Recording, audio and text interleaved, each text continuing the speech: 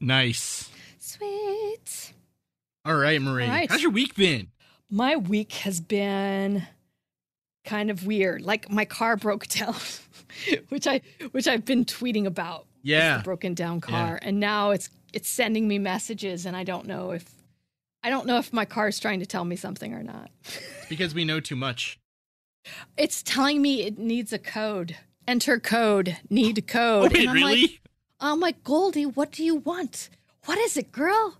Timmy's stuck in the well. What is it? What is she trying to tell me? I'm like, I know. I, something was implanted in my car. I have to. There's some sort of code. I'm, you know, I don't know what it is. I don't know how I'm gonna get to it. But like, yeah, my um, my flux capacitor or whatever it is went out in the middle of traffic and in the middle of like commute time, and it was just painful. But I'm fine. The car's fine, except it's trying to communicate some otherworldly message to me. But other than that, same old, same old. Good stuff. How about you? That's good stuff. Yeah, you? doing no, doing great. You know, we have uh for those that don't know, uh, I'm now on a live episode the second Wednesday of every month on Spaced Out Radio with Dave Scott, which is uh, available online. So go check that out at spacedoutradio.com. We talk about how dumb uh, paranormal investigation can get, which is a lot of fun. And yeah, so it's super fun. So that's the only thing that's really been going on with me, besides the fact that I'm on muscle relaxants right now, Marie. What? Because you my back like gave out in the middle of the week. And so my Dude. doctor was like, "Well, we're going to get in for physical therapy, but here's some muscle relaxants. Don't take it if you have to do anything important." so I like haven't had a day to use them yet. and My back was killing me this morning, and I was like, "We can't put off recording this episode any longer." No. No, so we'll just muscle relax on our way through. So I'm excited. So you're just muscle relaxing your way through. You're bogarting all the muscle relaxers. I'm just having a diet coke. Oh my goodness! I All right, let's get into Alien Odyssey Part Four. Jake, roll the tape. To the Mad Scientist Podcast. This week's episode Alien Odyssey Part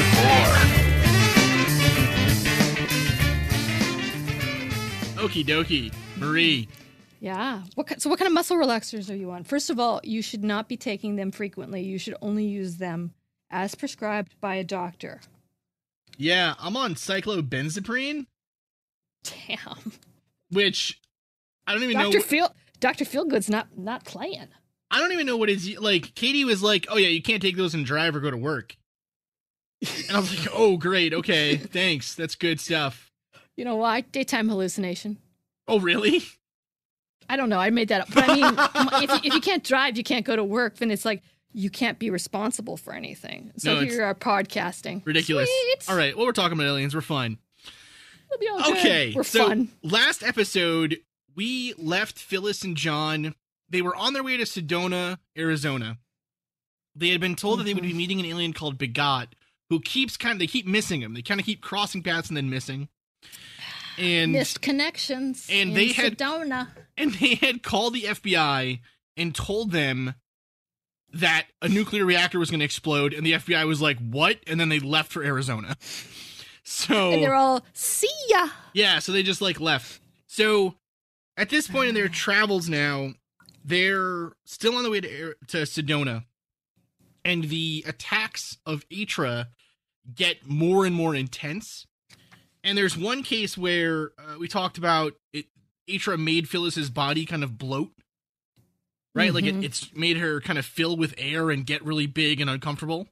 And there was another one where Atra actually caused Phyllis to go unconscious and stop breathing for a short period of time that John mentions in here. And specifically, that occurs when they are talking to an alien called Jabet, who is trying to tell them about how UFO propulsion works. And Hmm. so Atra then comes back later and says to John as Phyllis is sleeping, she says, we don't you know stop investigating this stuff we don't want you to know about it i'm you know i'm working for a higher power and evidently later on she tells him that she works for ronnie reagan Yeah. which is pretty awesome so it turn it turns out too Well, this is if you want a higher power, the Gipper, he's the highest of the powers he's, you know, And the funny thing too is like this is not he's done. Like his presidency is is completely done at this point. This is in the 90s, right? No, see that's earlier, okay, 2000s, right? No, no, that's Or the is this- crazy thing. That's the crazy thing.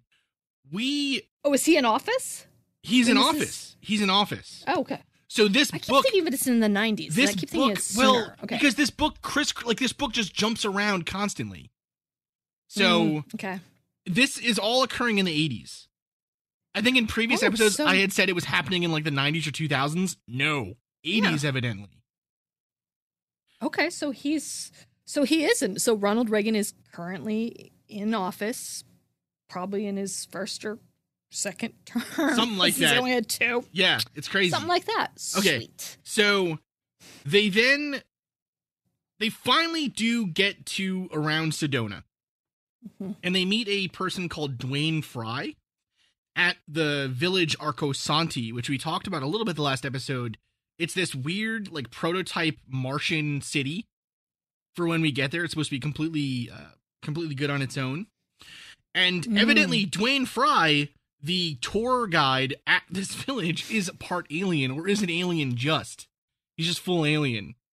Because evidently he touches Phyllis on the face in a way that they they do that on on a Pochi, which is fun. Really? So uh, so we're just gonna we're gonna blaze past that because that's interesting but very strange.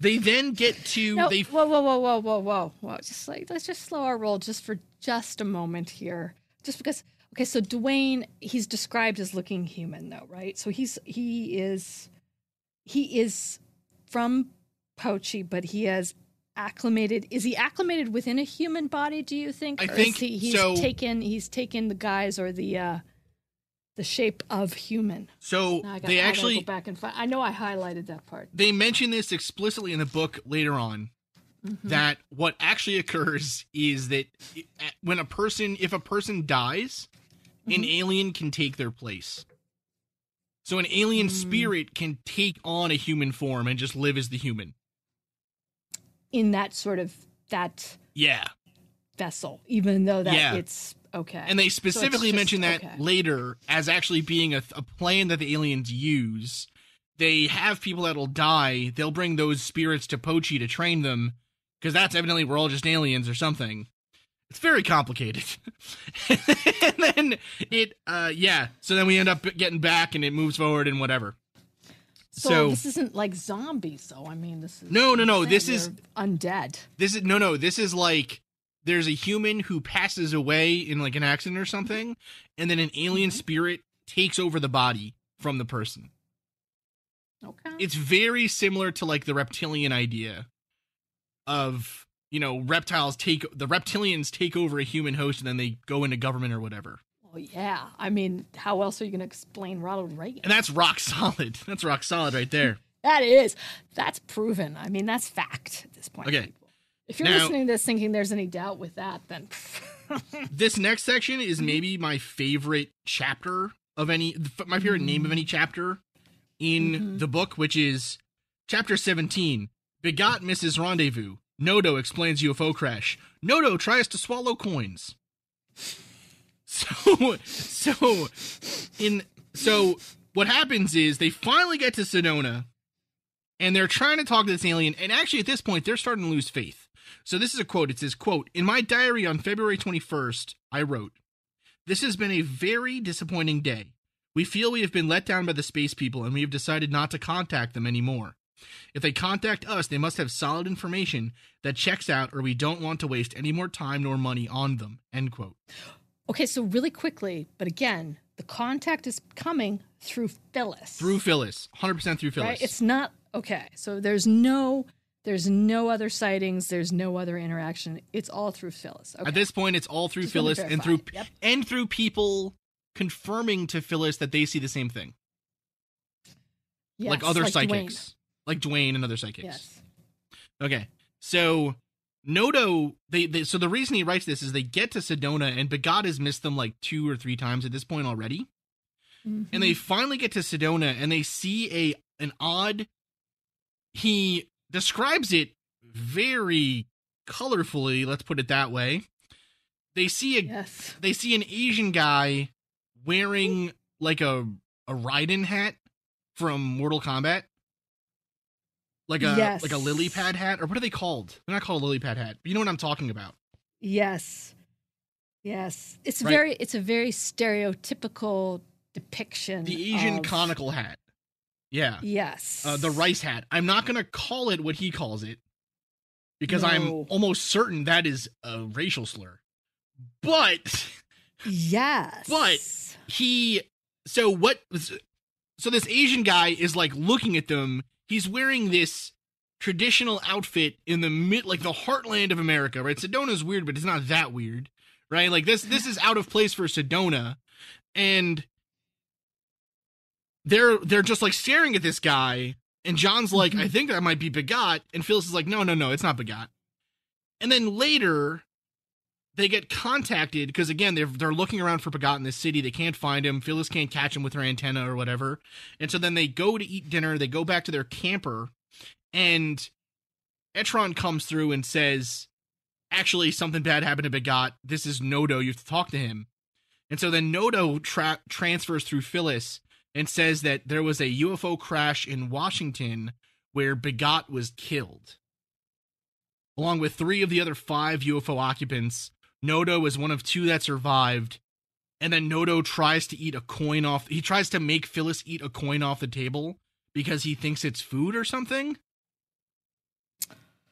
Oh yeah. It's not super duper clear.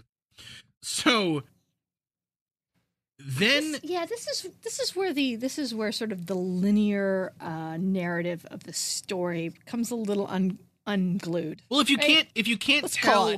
If you can't tell by the fact that we had such a hard time pinning down the time frame here, and that's my bad. I should have been I should have I should have done the more thorough uh No, checking back but, of I my mean, notes. It, But- he refers to other time periods within the narrative. And the narrative reads: If you're reading this story, which we we hope, dear listener, you all do take the time to read it because it is actually kind of fun Hundred percent. And interesting.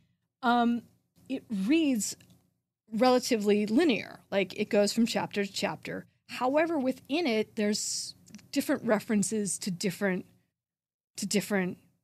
I want to say almost eras or decades. Like there's certain things that he will draw reference to that don't belong in that time period. Yeah, it's So you automatically, to me, think it's like okay, like the whole Ronald Reagan thing. I thought that that was like more of a flashback or more funny because he wasn't in office. yeah, it's no, it's super weird. It's super difficult to pin down fully. Mm-hmm. So this this is really I think when the ball game starts to get given away, so to speak, or the the the mm-hmm. this is where to me the mask or the the lens starts to get pulled back and you can really see what's going on here in some ways. Okay? So this alien they miss this alien. So a big prediction that the aliens have made so far to them, which is you're going to meet this alien in Sedona. That didn't happen. They didn't meet a person in Sedona. They just saw a weird dude, and then Phyllis later Mhm. on comes through and says, "Actually, that weird dude was an alien." so that's interesting. This next chapter, though, seriously, Close, this it's a good closed loop. It's a good closed loop. Mentality. well, this next one completely gives it away. So I'm gonna just read this as a quote here. Mhm. Okay. Later in the afternoon, Alouette Francesca called us on the phone at my father's house. She had come to Sedona to meet us while we were there and was staying in a friend's camper nearby. This whole time they've been traveling in a camper, by the way. Yes, we went they're to- on the lamb, basically. They are. We went Not to consciously, a we yeah. went to a restaurant with some of their friends who also channeled, and Phyllis demonstrated her ability to all of them while at the table in the restaurant. That night I talked with my father on the phone because the snow was so bad we could not get to his house, and he informed me that it, that my former wife Virginia had called and said the FBI was looking for me and to call her back as soon as I could. When I told Phyllis, she hmm. became very upset and argued over the fact that Virginia was back in my life. I walked out for a while to calm down. When I came back, Etron channeled and told me the space people were angry with me because Phyllis was upset. During the night, Etron informed me Dahlia had been instructed to take the tape recorder and all of the tapes and give them to Etron and Drendy as punishment for our, and especially my, behavior. During the night, I called Yep. Drendy mentally through my third eye, and he immediately came through Phyllis, who was asleep. Hmm. We had a talk that eased my mind considerably. He said my behavior after talking with him last night was commendable and that the tapes and recorder would be returned. Later, I called Dahlia mentally. She spoke immediately through Phyllis, who was still asleep. I asked if Phyllis was warm enough, and Dahlia assured me that she was. I then asked when we would get the tape recorder back. A new voice came from Phyllis saying the entity, who had not spoken to us before, was named Onzix. The new space person said we had slept under it. When we arose in the morning, I looked in the storage area over our bed and found it. So, Phyllis Mhm. has been making all of this up. Well, I mean, I, I, um, maybe, Poss- possibly so, possibly so. I- I'm not. It's not even a. I mean, he gets a call from his ex light ex wife. The aliens are like, "We're mad at you. We're hiding your things." And then, you know, the next morning, they're like, "The things were in the only hidden places in the camper." Ha ha ha.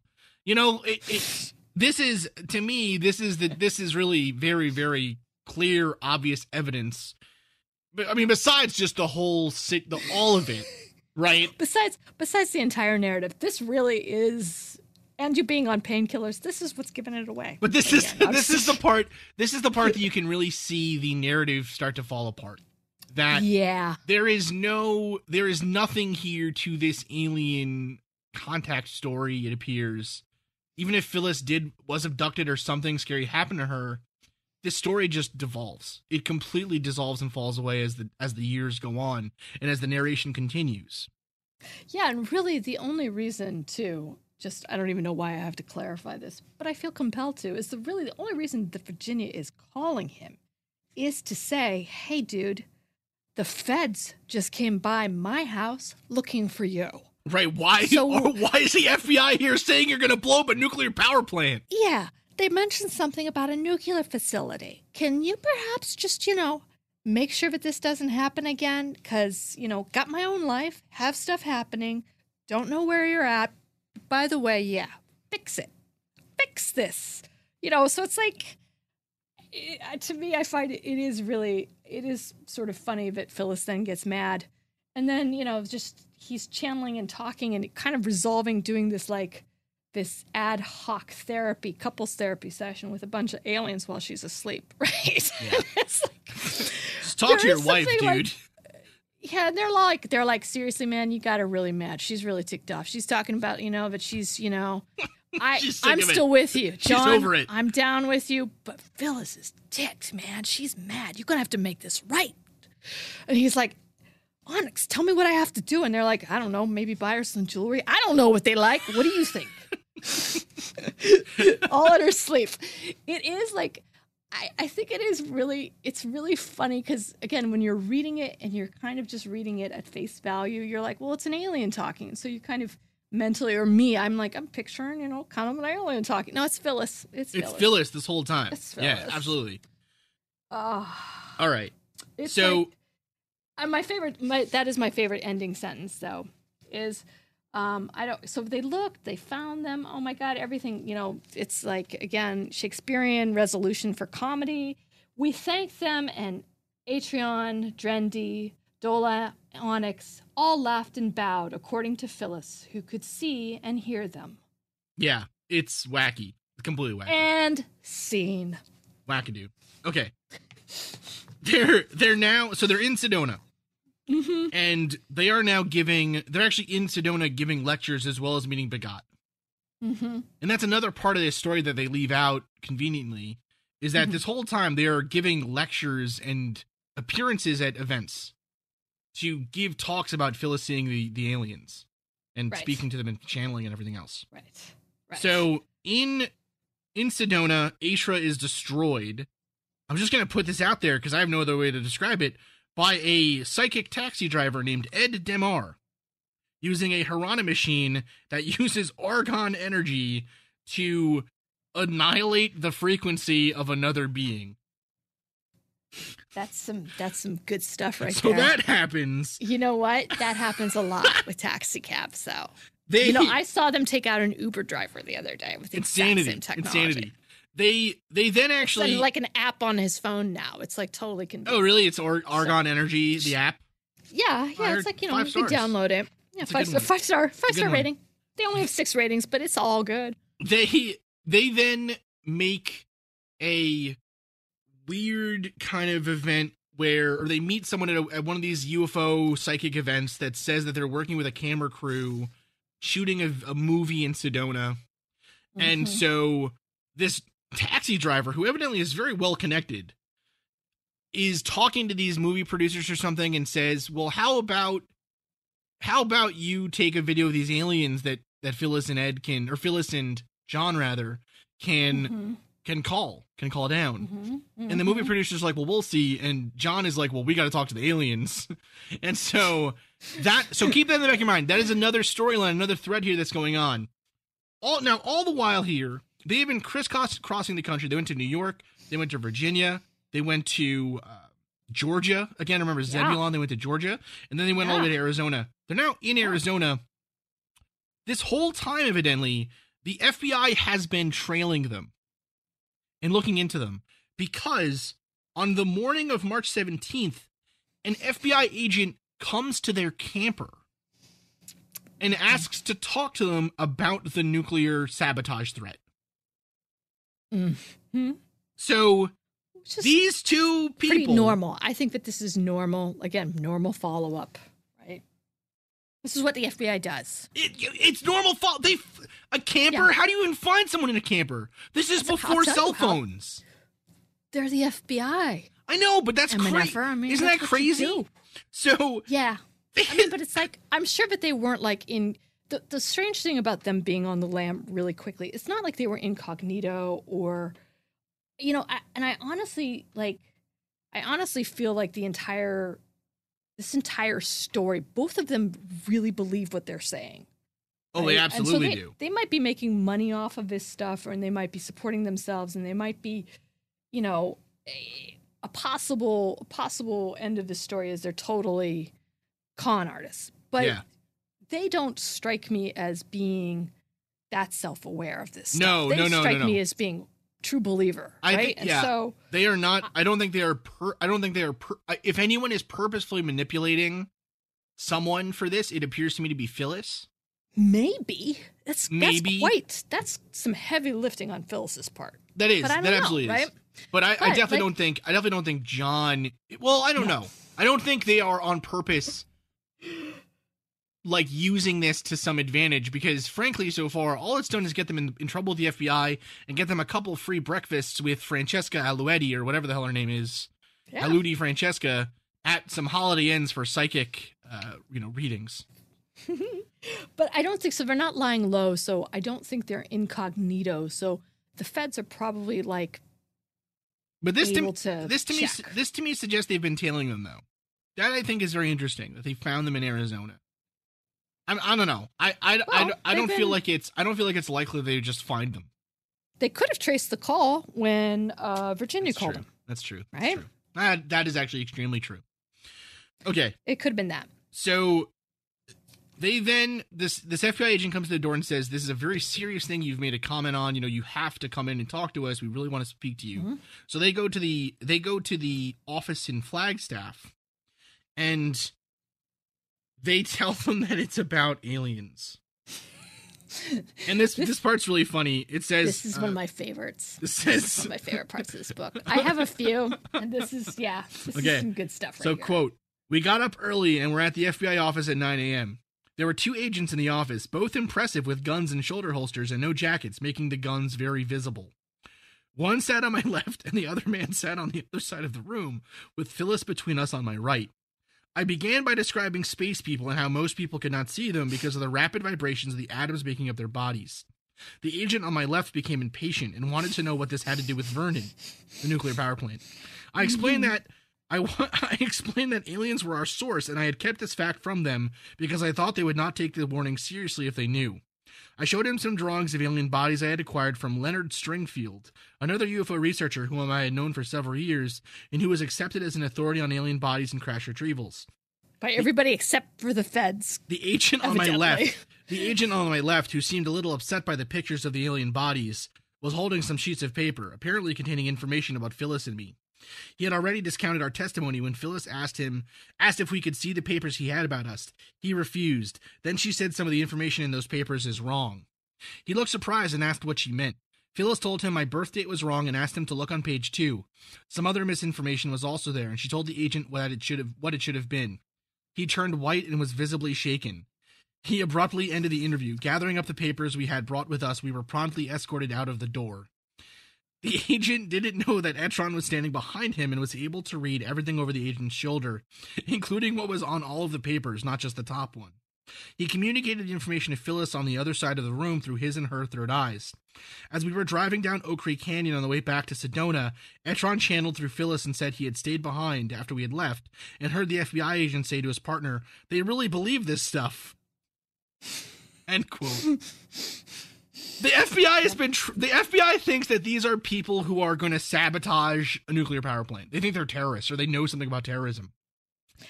And then they get there and they they're like, said it's they aliens. Well, yeah, yeah, of course. I mean, yeah, Only because they said there's three people that are going to sabotage your plant. it's, oh, it's my favorite. It's my favorite. Yes. It's so Yes. good. It's and it is like again, so it's like uh, the agent on my left who seemed a little upset by the pictures of the alien bodies. I mean, They're all like, dude, seriously, is this uh, all right? So these are pictures of these are pictures of alien bodies, and who did you get them from again? All right, and so Mr. Maloney, what does this have to do with the Vernon power plant? Nothing. Okay, no. All right. so here's the interesting thing. Uh, Leonard Stringfield is a pretty well-known ufologist. Uh, He Mhm. was a very well-known ufologist who was ex- ex- was thought to be something of an expert on these kind of crashes and things. So Mhm. to me, this shows just true again shows how fully these two were in the UFO field as serious players. Yeah. And relatively serious, anyways. That they were able to talk to these people as if they were friends. Well, Right, they know so- them. I mean, and they're making a point of again. It's not like I don't feel like it's name dropping so much as it is just kind of verifying where they got that information from. Right. So, okay. So the FBI is like, these two are nuts. But we're Yes. going to do some more follow up and just see if they're giving us, you know, what's the deal here. Right. hmm So Mhm. uh, the aliens then come back to them after this FBI thing and tell, at least tell Phyllis, that they are going to, they will do the landing if they would like. And they specifically say that they're going to do the Yeah. landing because it'll be good for the rest of the world. And so they give this, they give this discussion, and this is led by a very interesting discussion, which is that evidently one of Phyllis's uh, nicknames was DD for uh, dumpster digger because she used to Oh. go digging for old bottles in country cellar holes Hmm. to supplement her income. Mm. Anyways, this is this is what this says. Quote. This is Etron. We have had a very serious discussion. I will let the commander from the Pleiades speak first. He will use DD's vocal cords, and this will be very tu- tiring for her. We may stop and let her rest. This is Amgrat from the Pleiades. We have come to a decision concerning the offer made by your friend. We feel that in the light of the situation on Earth at the present time, it is extremely necessary that the world be aware. You have a green light. The next voice, voice you will hear will be from the Ogata. This will be from Ogata. The Ogata group feels that it is very necessary. We are in full cooperation and will do the utmost that is in our power to convince the world that there will be no world if this present world does not listen. They are in danger. We are here to help. We are here to serve you. With our master's help, this can be accomplished. That is our message. From the Saturn Command, we have come to a very strong agreement that unless the whole world lives in the light, the light is not completely turned on. The beam from the Master should be reaching every corner of the earth. With your help, that message can be beamed. In the light of God, all will be pure and all will be safe. Go forward. Take the beam to every corner of your planet. This is Etron from the Apollo Command. With all of our spacecraft circling your planet at this time, everybody is in complete agreement. We will stand by ready to help wherever we are needed. Do you have any questions? And John replies, Yes, I do have a question. Have all of you prepared some special message that would come to the people doing the filming, or is this the message we have just heard? Etron answered, We have all agreed that our messages are clear and precise. They are with you. Your DD is in charge. You are in charge. You will see that these get to the proper person. We can do our share. We need your help as you need ours. That is our message. End quote. And we also need 3% gross on margin. So, so basically, they're like, "Are you going to land?" The aliens are like, "Yeah, we'll land, but give this message to them." To the And film then, crew. and then they just leave Arizona. The film crew? Or the no, aliens? no. John and John and, and Oh. John and Phyllis leave. Oh yeah, that's right. They say they say uh, they departed from home on March 21st. They went back to Arcosanti to get some literature about the town for some Mhm. reason, and then it Mhm. says, and then it says. Uh, the next day, we reached Socorro, New Mexico, from where I telephoned Norma Beaver, who was a friend of Ed Demar, Ed being the taxi driver. Oh Ed had yeah. Ed had no phone at home and used the taxi company phone when he needed one. Shady. I asked Norma to tell Ed to find someone in Sedona who could channel and inform Bolta of the status of the movie project. I told her the Mhm. Ogata group was circling the area waiting for instructions. As we moved farther east, we lost contact with the aliens around Sedona and never did learn the outcome of the project. I'll tell you what the outcome was. No. It was uh what was the outcome, Marie? the outcome was uh the outcome was uh what oh, come on, not the I, I can't I had the movie in my head until the Spielberg film. The Alien Spielberg film. Oh, uh, Close Encounters of the Third Kind. Exactly. Yeah, yeah, yeah. All right. So they then They just got a hold of Spielberg. They got some better representation. You know, they put some stuff into treatment. They shopped it around a little bit. It worked out. so they then they no, it's fine. It's fine. They It's then fine. It's fine. they they they finally get back to Claremont. Ah, And- Claremont. Etron comes back and says the FBI is not taking this whole nuclear power thing seriously enough. So you need to get involved again and, and talk and get yourself in more trouble here. So Oh. they then they then contact the FBI office in Rutland, Vermont. Oh, They uh, tell him that the human's name who's going to be doing this is George, and that he's going to be doing it using some uh, destroyed but not depleted nuclear fuel rods.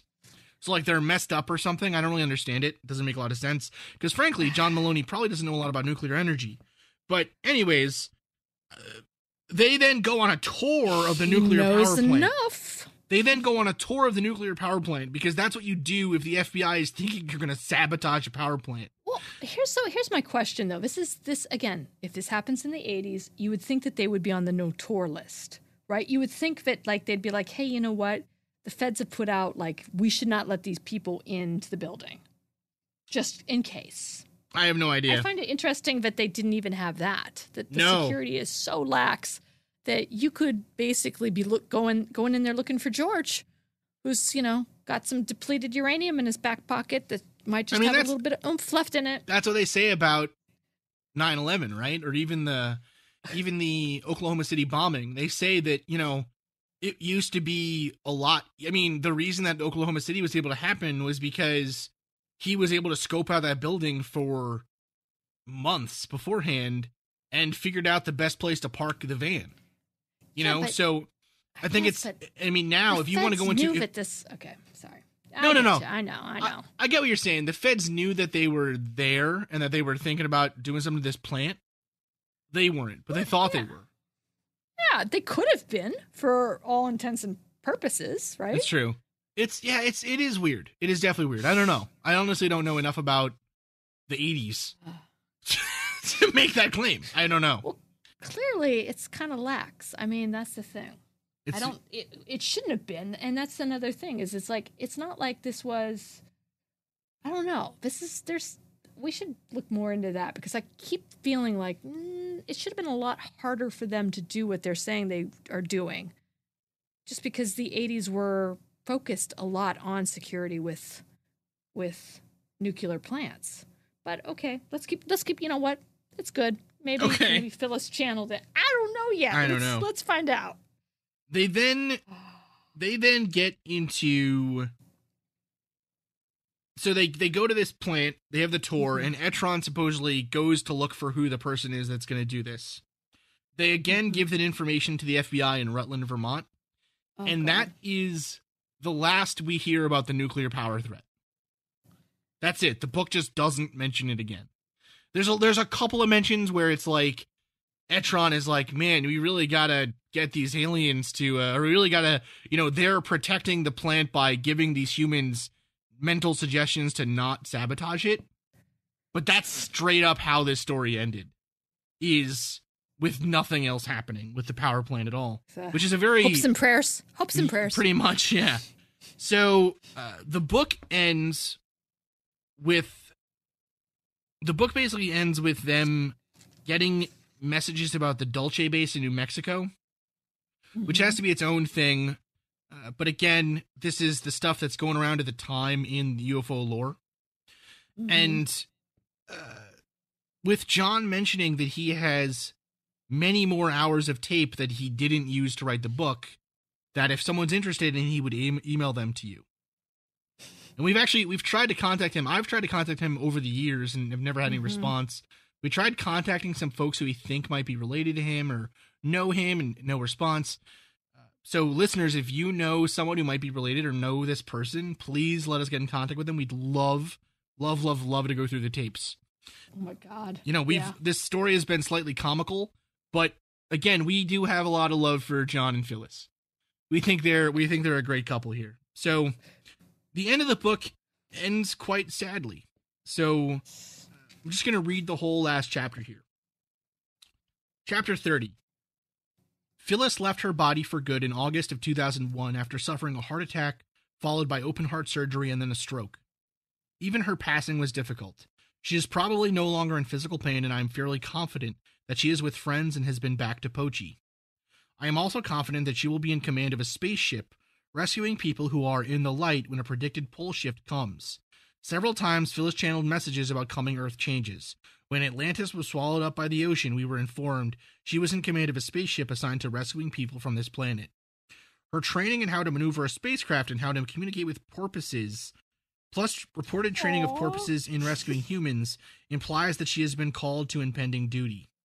Recent dramatic climate changes worldwide, such as increased frequency and severity of storms and earthquakes, tends to confirm that big changes are near.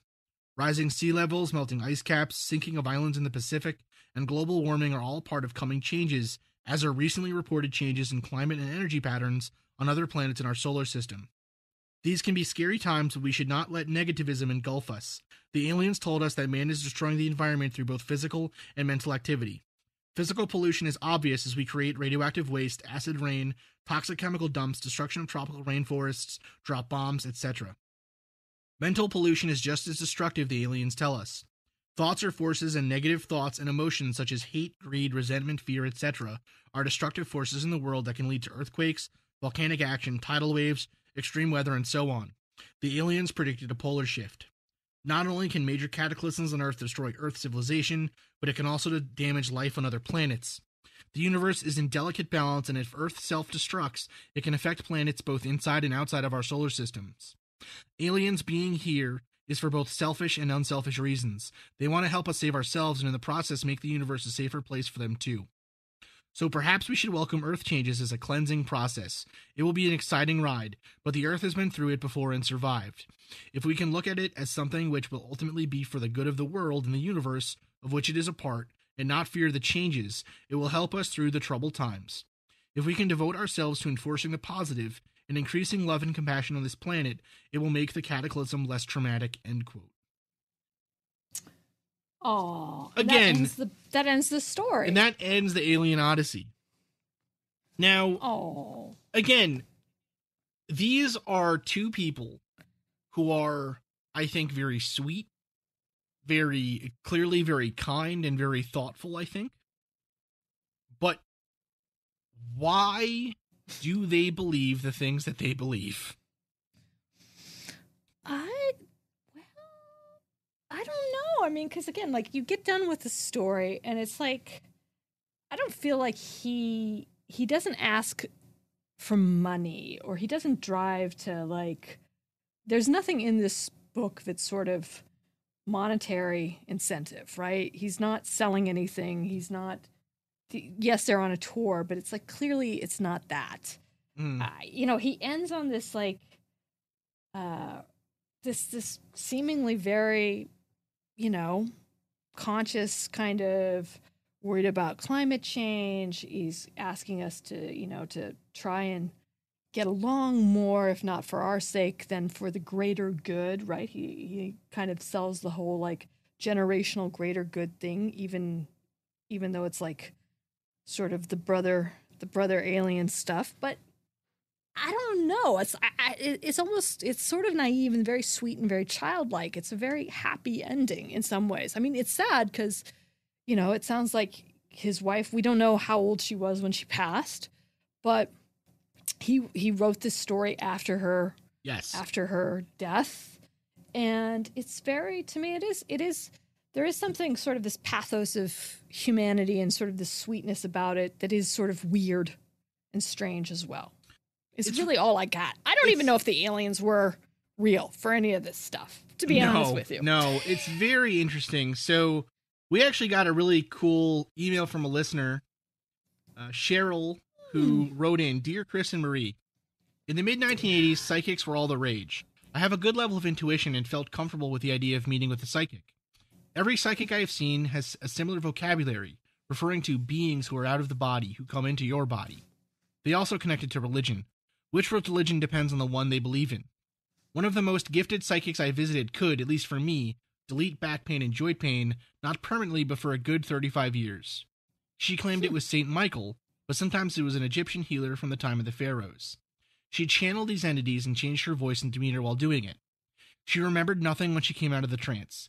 The first time I was with her, I thought I had just got myself into a room with a mad person and would humor her until I could get out.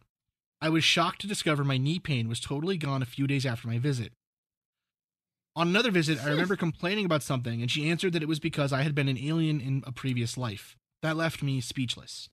In my own case, most of my intuitive knowledge comes with high anxiety. I think John and Phyllis were probably severely anxious people who were able to intuit a great deal. I think anxiety brings a lot of our intelligence to the fore, and what we call intuition is really a summary of knowledge quickly accessed. Also, for some people, not being here is a great relief. I don't think the other people in their lives were using them. I think many people are in the same place they were in. Life can be so pr- so frightening. Having an inside line can provide a feeling of safety. I also know that with proper meditation and breathing, most of us can channel or see. So I think John and Phyllis were crazy. They were irresponsible and abandoned this physical reality and allowed themselves to be carried away with magical thinking, but that their experiences are pretty common. I think we all see this stuff inside of us to begin with, and some of us like to go there. Love to listen to the both of you. Wishing you all the best on your podcast. Best Cheryl. Cheryl, thanks so much for the great email. yeah It was really nice to read, and honestly, your experiences are very interesting. Would love to start a discussion about them, maybe. The well your insight is forget what we have to say about it i'm going with cheryl I'm telling you, seriously, right? yeah So yeah the what I find really interesting, so I actually really agree with Cheryl. This is something that I've also felt in my own just from my own personal experiences with anxiety is that a lot of what I read in books about, you know, abductions or about psychics or about paranormal experiences generally, it's all really similar to the symptoms of a panic attack or an anxious thought or obsessive compulsive disorder or whatever. And that was actually one of the first things that I said to Scott and Forrest when I joined the ARC was that I have this kind of pet theory that the majority of paranormal claims, including UFO claims, including whatever, can be explained by undiagnosed uh, anxiety disorder, basically, or anxiety uh, issues mm-hmm. but specifically whether or not that is due to it whether or not that is due to the brain of the anxious having different a different mechanism or access to a different mechanism that allows you to experience the paranormal versus it being all made up. Like the reality of the underlying phenomena you're experiencing that's still up in the air for me. But i honestly do believe that that is a, a big component of this that if we did a if we did a summary of people who have or a study of people who think that they've seen these things or whatever if we scored them on a say an anxiety test scale that they mm-hmm. would score pretty high higher than the average population. I 100% expect that to be the case. So i think i think cheryl's idea here is pretty hmm. spot on. I, I completely agree with her. As for as for what made John and Phyllis say this stuff. So I think ultimately they didn't see aliens. I don't think that's true. And later on in the book, even John starts to say that he's tried channeling and it wouldn't it wouldn't work for him. Or if it did work, he would be he would kind of snap back to reality and be like, "Oh, I missed something," and Phyllis would be like, "Well, you were just you were just channeling," you know. Um, I think that I think that this is the story of two people who wanted to find something more out there, and they found a group of people who gave that to them, and who with them they could kind of build this up to themselves and to each other, and this this is the reality of a lot of paranormal investigation, paranormal thought, UFO investigation, UFO thought. This is not at all more wacky than any of the other books you'll read coming out of any of the, you know, hundreds of uh, self-publishing houses that Mhm. exist in the UFO, you know, landscape. So it's really interesting. This question of Hmm. and this gets back to a question Tess asked this on the Astonishing Legends Facebook page, which was what do you think is the biggest question in the paranormal community or what do you think it should be, you know? And I said that it's it's the ethics. It's is it ethical to let someone believe this stuff? Is it ethical to egg on someone who is clearly suffering from uh, mental illness or some kind of Mhm. disorder? And is it is it ethical generally to let someone believe a lie or to believe a falsehood for whatever reason? Don't- maybe. I mean, I kind of harken it back to um to that X Files episode. Jose Chung is from outer space, which is about basically. Have you seen it? It's Of it is course, yeah. probably it is the if have you seen it? it's a damn stupid question. I know.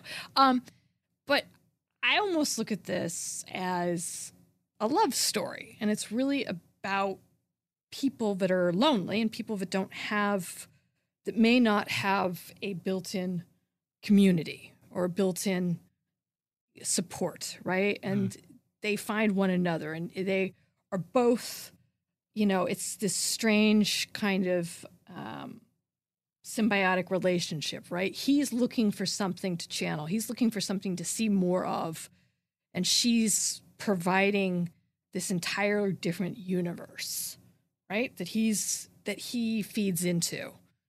And it is to me you know is it is it ethical? Is it moral? I don't know. I think it on the larger you, the larger perspective you should be asking those questions but i read it like a love story because that's basically he the story ends his story ends with her death.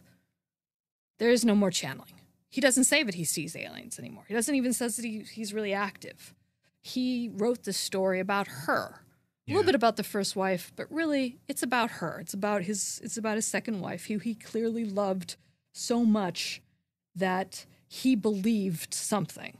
Whether he believed it was aliens or he believed that she was sick or he believed something entirely different that that got them plugged into this big community that was because of her. And i think that there's something both very dissettling about it but that, that that's also kind of love It's extremely love sweet. story. It's extremely sweet. I mean, it, it is it is very sad to think you know, uh there's a quote that always gets me kind of like teary-eyed, I guess. And it's from oh chris it's from oh, uh, It's from Teddy Roosevelt. His his wife Alice dies after giving birth to their daughter. Oh, and- God, yeah. The, the only thing in his journal that day is the light has gone out of my life. And it's very I think you know, you can feel John feels that way when Phyllis dies. Right? She this woman Yeah. brought to him like you said, this one brought him into a world of intrigue and you know even if he even if he wanted to be involved in that before because he was looking for UFOs beforehand Phyllis really wraps him up into this world and gets him that line directly to you know kind of the esoteric and the weird and the whatever. And so when she dies you you wonder and I really do wonder genuinely what did he do after? You know how how did he cope? It's so sad. It's so sad. It's so so sad. It is. It's sort of a sweet that makes it to me like because I read this and I am a very cynical person by nature and I read it and I'm like, "Oh dear god, are you kidding me? Like this is this is the biggest line of BS ever." Clearly, you know, but then if you kind of allow yourself to be like, "Well, if you are married or if you have, you know, if you have someone you love, what are the allowances that you listen to and that you believe just just in general as being a cohabitational partner with somebody? Right. It's not that far off. I No, mean, it's, I it's don't know if, if you know for Paul I would be all like channeling aliens and stuff. I definitely, you know, Don't say that, Marie. It- it- I would definitely say, you know, I'd be like, yeah, she's really mad at you, man. You got to make this right. I don't know. I don't. I'm just saying. I'm It- with you, but she got to make this right. I love that. To me, that was like that. You know, that's where it started to break down. The story breaks down. But that's also where it's like it almost reinforces more, but it's a love story in a very Absolutely. humorous way. It does, and that's and it makes me wonder if it makes me wonder if when he was writing that he wrote in his journal that he was mad at the aliens. He was mad that they Mhm. uh, that they hadn't come and they were just gonna stop talking to them. I wonder if Phyllis was like, "No, he's upset with me. you know, I got to do something." Yeah. It, it is interesting, but it, it, uh, I, I will he say he never though, says that he's upset with her. He never says he's mad with her. no, no, he never does. No, He's protective over her. She's jumping off. Of, she's swallowing coins. I mean, she's doing some crazy stuff, right? Yeah. Some, or not crazy, but like some extreme behavior. well, and And he's never. Yeah, go ahead. and that's the less charitable reading of this is that Mhm. this is the story of an unhealthy relationship where Phyllis is using using basically this fictional illness of alien Mhm. abduction to manipulate John into taking her on lavish cross country trips to In a feed camper. to feed into her need to feel grandiose and important and ultimately dedicating his life to her completely you know because really that is the story here that is the story of this is john dedicating his life to phyllis and it Yes. so that is definitely the less charitable reading. Another way to look at this too is a lot. So a lot of the things in this book are, I don't want to say carbon copies because they're not really, but they are close copies of other alien cases. yeah. And the and the places that they mention, uh, for instance, Socorro, New Mexico is the is the site of a very famous UFO landing, or a very very famous UFO case, the Socorro case. Which, if you don't know about it, listeners, go take a go go uh, check it out. I think Rob covered it on Our Strange Skies recently. Mm. I, uh, I'm not 100 percent sure on that, but it is a really good case. Another one is the Sedona connection, right? That is the beehive of uh, UFO activity. We mentioned it a little bit where they talk about the Dulce base and Mhm. uh, an alien coming through and saying the Dulce base, whatever. And all of these things come out at times where events took place in those areas. So it's very, for me, the Dulce thing is especially, you know, if they had been talking about Dulce in the 60s, that'd be one thing. They're mentioning the they're mentioning Dulce, you know, the late 90s, mid 90s, somewhere around there. So it's, you know, it's kind of like, well, okay, that was on the internet then. Yeah. you know, that Yeah. was out there. That was on. They, they were talking about that on the History Channel by that by Oh, that yeah. point. And the other thing too with the nuclear power plant and the threat and the way the threat came through, that is, you know, of it's it is the standard Mothman aliens as warning brothers story. Mhm. Mhm. What makes this so interesting, though, for me, is that it is anachronistic, both in the telling, as we've said, Mhm. but also Mhm. in the way that it, it. This is a benevolent Space Brothers story in the modern day, and the benevolent Space Brothers story is so cliched at this point that no one really tells it anymore. Besides people that are, you know, we can talk about those people that are in modern ufology too, but we won't right now. But so it's so it's interesting to me. I don't know. I don't really know what to I don't really know what to make of it, but besides the fact that it's a good story. It is a good. I, so I end up thinking, like, do I think that I think that he was legit in trying to understand and uh, delve more into UFOs, and I think that there there was something genuine about that. I think that there was Love brought on a great suspension of belief when he started to, you know, channel and and have this relationship. But I also look at it like, you know what? Uh, I, I read it as sort of that kind of a love story. Why do you As sappy, as sappy as it may be. now? I why- do. Now, why do you think the? Because again, this is a story. So I, Mhm. after reading the book, again after a couple years after having read it initially, I tried Mhm. getting in contact with some local UFO groups in Vermont and in New Hampshire, Mhm. and was basically told that these uh, just they didn't want us to talk about the story. Yep. That John and Phyllis were embarrassing. The story was embarrassing. They didn't want to tell it. I think that's unfair. I think unfair. I, I think that's ridiculous. And it and again, it makes you wonder though, if this book had never come out, how would they be talking about John and Phyllis? Because I think that they would be selling them as a case of a husband and wife team who could actually channel aliens.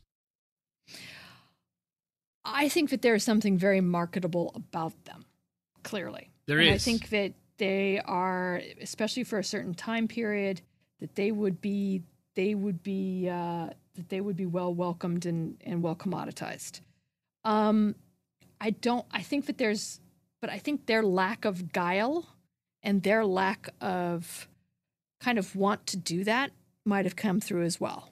Like they, 100%. they clearly were not being interested in being sold as as and sold and packaged in a way that would have made this like a communion or something like that. You know what I mean? It's like 100%. clearly they didn't do that, and I think that's what it was. And I think that that that genuineness is what I that comes through even in this weird story, and that is again like why I think it's more of a, a love story or a true story of that. Is my take. No, 100 I, I completely agree with you there. The other thing that's really Hmm. interesting is all right, so they they mention a part here where kind of I think again this is part of the way that these stories get built up over time. So here's the here's a quote. Quote Temamet also informed us that other collecting points were Hillsborough and Twin Mountain, both in New Hampshire. Uh, that's uh, for this or this energy, the special alien energy. We already we already knew from other sources about the work David Waddle was doing in Twin Mountain, growing plants without sunlight.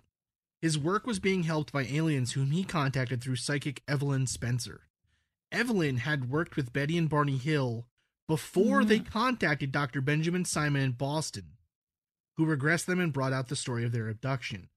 Now that is mm-hmm. extremely, mm-hmm. extremely interesting Yeah.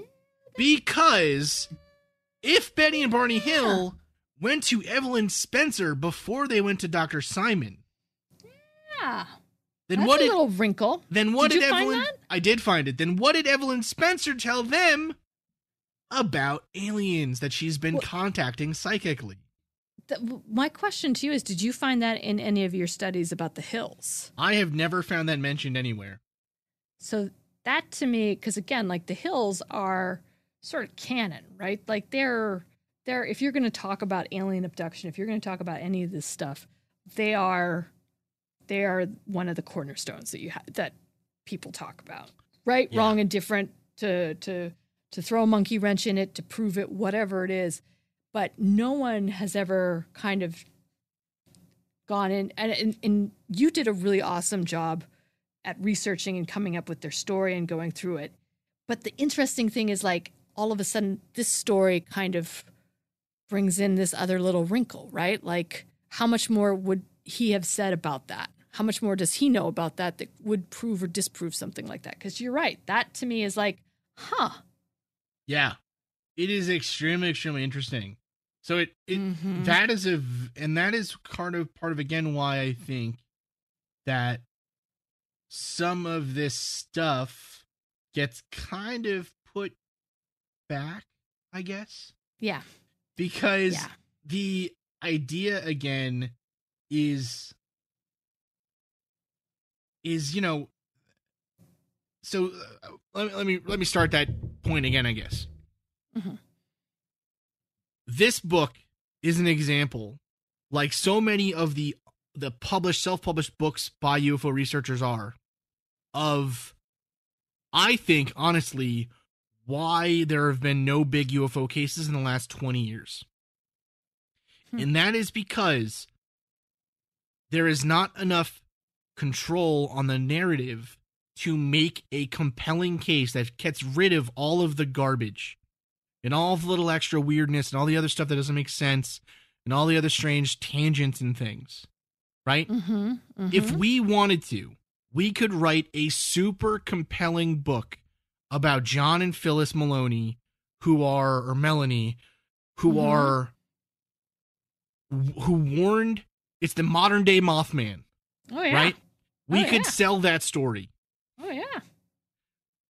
We should have. I don't know what we're doing, Marie, What are we doing? Oh man, burn the tape, Jake. but because this came out of the horse's mouth, so to speak, Right. and because it is not filtered and because there is Mhm. so much access to information there's not enough to build this mythos around the investigators around the case itself around the time i mean this is fascinating in in any other t- retelling of this story i mean uh, imagine this right Let, let's just say from the beginning we tell this story this way in, in an untruthful way or in an un- inaccurate way to how that actually occurred according to mr maloney himself Mm-hmm. John John meets Phyllis. They get married. Phyllis starts to have these nighttime visits by UFOs who channel through her telepathically. Mm-hmm. The aliens warn them about a nuclear disaster, an impending nuclear disaster that's coming to the Vernon nuclear power plant. They Mm-hmm. then they then uh, go and make that claim to the nuclear power plant, and it's taken seriously enough that they are then followed by FBI agents.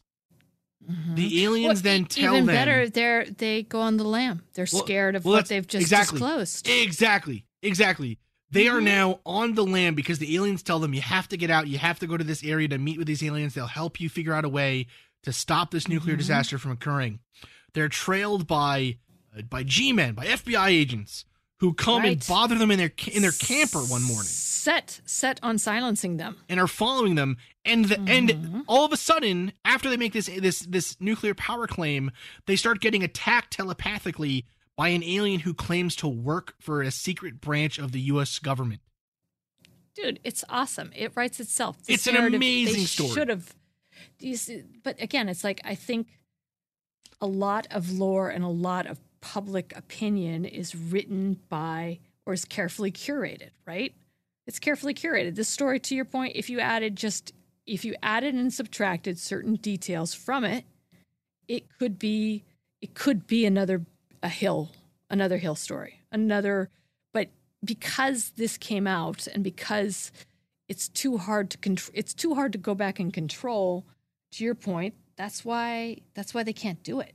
yeah And that's, I think that, but then that should make you question, that should make you question every narrative for anything that has been sold to you as a complete story. That should make you question public events. That should make you question things. And I mean this in a healthy way, like, because not in a, you know, a, a, a conspiracy type of way, but like, there's probably more to every story that you don't have of bits and pieces that were left out that Absolutely. may actually change the end of the change the end of the narrative. absolutely so that is the end of the alien odyssey Oh, Alien Odyssey. can't believe it's finally over it, listeners if you enjoyed this episode let us know or this series of episodes let us know i seriously have dozens of self-published ufo books i i really we're we're gonna we're gonna read them all. Well, that's what I was, I was gonna going to read say. them all I, to you. I really, really enjoy them. So if you like them, uh, let us know, and we will definitely do that. I think it'll be a lot of fun. I think it'll be a huge amount of fun to do that. Ooh, And again, you know, I think that's the painkiller stalking, man. no, I'm man, it's gonna be great. Uh, thank you again so much for listening, Marie. Any last thoughts on this story? Ah, no. I will say if anybody else out there knows of where those other tapes are, though, or if anything about sort of this this um this group of people, we'd love to know more about it. It's a good. It was a good time. That was a good. It was an odyssey. It was an odyssey, man. It really was an odyssey. Okay, well, we will be back in one week with our next episode, which we are uh, Fresno Nightcrawlers, Marie. oh, so yeah, you're letting the cat out of the bag. So we're we're looking at Okay, wait, wait Jake, Fresno- Jake can cut it. Jake can cut it. All right. So Jake, we, it. going to say we're working on. So we are working on a special collaboration on the next subject, bringing back the Low Crew to discuss probably one of my my personal favorite alien uh, alien topics out there. And I'm going to just leave it at that because it's it's just that it's just like I think it's that good. And then I mean, after it's not that, Od- it's not Odyssey, but it it comes pretty damn close. it's good. It's no, it's a good one. And then after that, we are going to do, I believe, economic collapse. And then Yeah, we're gonna go back to our roots. go back to our roots. And then for Halloween here, we are going to do a special episode series on demonology and the Satanic Panic. Oh my god. Specifically, the story of Michelle Remembers, which is the most famous of the Satanic Panic books. If you haven't read it yet, I suggest it. It's a little bit heavy, but it's very interesting. Satanic panic. Satanic Yes. Panic. All right, listeners. Good night. Good night. Thank you again, dear listeners, for listening to the Mad Scientist podcast. I have been your host, Chris Cogswell, joined by my co host. Marie Mayhew. If you'd like to contact the show, please send us an email at themadscientistpodcast Mad Scientist Podcast at gmail.com. That's all one word. You can also follow us on Twitter at Mad Scientist Pod or at Team Giant Squid for Marie. And of course, you can see us on Facebook, on Instagram, and all over the internet as the Mad Scientist Podcast. And again, our logo is the one with the pumpkin head, so it's easy to see. Mm-hmm. If you've enjoyed the show tonight, please consider supporting us on Patreon, where the money that you give to us will help us to promote this show further, to make it better, and just to spend more time making it. Because we love doing that. We do love doing that. Our logo was designed by Carrie Shaheen. Our web design is done by Desdemona Howard. Woohoo. And our sound design is done by Jake Cardinal. Thanks again for listening. Thank you. This has been a Damn It Chippy production.